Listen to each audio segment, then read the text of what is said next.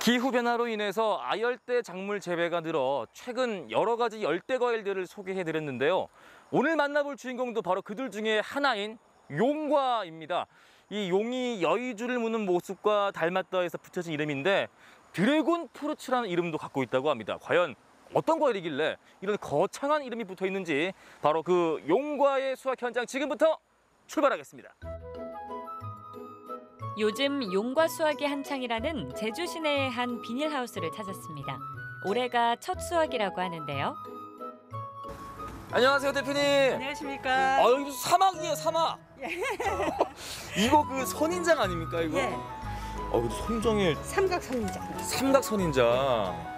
제가 용과가 있다고 해서 왔는데 예. 제가 잘 사실은. 용과를 제가 오늘 처음 보는 거예요. 요겁니까? 예, 예. 얘가 지금 익은 상태입니다. 이 불구스름한 거요. 예. 일단 그 용과가 어떤 과일인지 좀 소개 좀 부탁드릴게요. 꽃봉오리가 생겨서 이게 그게 커가지고 한 20일 만에 커가지고 이렇게 꽃이 핀 거예요. 이렇게 이렇게 수정이 끝난 다음 네. 35일에서 40일 되면 수확 시기가 됩니다. 오. 예. 그럼 이제 여기는 이제 파란데 여기는 이제 불구스름하고. 아 이게 하는 기준이 있을 것 같은데요? 예 이게 여기 요 이게 이걸 포라고 하는데 이게 한 3분의 2 정도 네. 이제 빨간색을 띄기 시작하면 이제 수확 시기를 얘기해 주는 겁니다. 이게 빨간색이 띄었죠. 네 네. 원래는 이렇게 초록이었거든요. 이게 그렇죠. 요렇게. 예 이렇게 초록이었는데 이게 3분의 2의 2 정도 빨간색을 띄기 시작하면 수확 시기를 알리는 거예요. 음. 독특한 모양과 풍부한 영양을 지닌 아열대과일 용과는 선인장과의 단연생 식물로 중남미가 원산지인데요. 제주에서도 비닐하우스에서 재배가 가능해졌습니다. 보통 여기 가지에 보면 이거 따고 나면 이렇게 삼각 모양이 되거든요. 네. 이게 바로 여기 닭뼈슬 같이 울퉁불퉁한 거를 건드리지 않아서 따야 되니까 그렇게 따는 거예요. 아 열매에 이 예. 손상을 끼치지 않기 위해서. 예, 이게 이렇게 닭뼈슬처럼 여기가 울퉁불퉁 튀어나와 있거든요. 음. 그딸때 조심 안 하면 이게 상처를 입어요. 그럼 이제 얘는 어떻게 되는 거야? 얘는 이제 안 물어요, 자기가. 어 신기하다. 예, 다시는 여기에는 열매가 안 맺혀요, 이 자리에는. 오. 예. 용과는 껍질에 칼집을 내어 벗겨주는데요.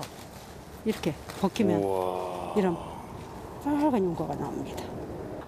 귤처럼 이렇게 이렇게 벗겨서 그냥 하나 그냥 다 드셔도 돼요. 이렇게 벗겨가지고 이야. 이렇게 벗겨서 와. 용과는 과육의 색깔에 따라 여러 종류로 분류됩니다. 이 적색계 용과는 껍질도 붉고 속살도 붉은 것이 특징입니다. 식감도 부드럽고 하얀 속살의 용과보다 단맛도 강하다고 하는데요. 맛을 한번 볼까요?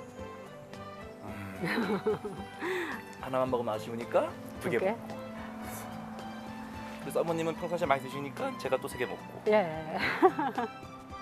자 이렇게 해서 수분이 많고 아삭하지만 당도가 낮은 용과를 맛있게 먹는 방법이 있습니다. 그다음에 레몬 용과에 굉장히 어울리는 게 레몬즙이거든요. 레몬즙을 넣으면 용과의 단맛을 배가시켜 줍니다. 용과는 그대로 먹어도 좋고 우유나 요구르트, 다른 과일과 함께 넣어서 주스로도 쉽게 만들 수 있는데요. 특히 씨앗에도 영양소가 많아 주스로 섭취하면 좋습니다. 또 섬유질과 비타민, 칼륨이 풍부해서 체중 조절용 식품으로도 좋다고 하네요. 음. 맛있습니까? 얼음만 들어가면 이거 오겠죠.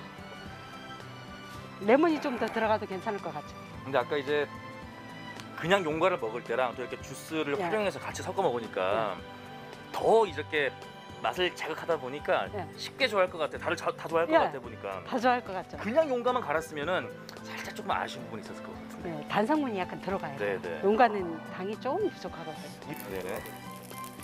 이번엔 붉은 껍질을 갈아서 요리에 활용을 해봤는데요. 제주의 향토 음식인 기름떡과 팬케이크가 색다르게 변신했습니다. 자 이제 모두 완성이 됐습니다. 네. 아 팬케이크, 머핀 네. 그리고 지름떡. 이제 색깔을 보십시오. 야. 아니, 우리 제주에 보통 이제 지름떡이 하얀색인데 네. 이 붉은스름한 지름떡. 아마 이 방송 보시는 분들은 어 저렇게도 만들 수 있구나. 그럴 하나 겁니다. 또 이제 좋은 정보를 얻어갔습니다. 색감을 낼 때 이렇게도 활용할 수 있다라는 건데. 예. 어, 이 보니까 머핀이 있어요. 네. 자, 머핀. 이 안에 과연 뭐가 있을까요? 용과 자, 껍데기요.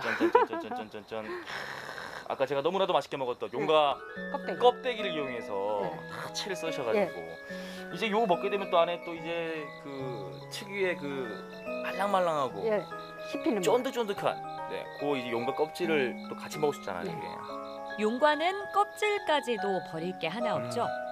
음, 딱 온다. 딱 와요. 그죠. 안에서 예. 이 머핀 딱 씹으면서 안에 그 예. 껍데기가 싹 씹히는 게 약간 퍽퍽한 신기하다. 맛이 좀 덜하죠. 음. 예. 전 너무나 궁금한 게 예, 바로 이겁니다. 예.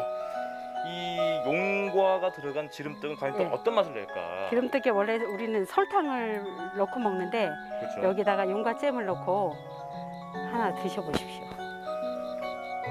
이게 용과 잼을 바른 기름떡 맛은. 어떨까요?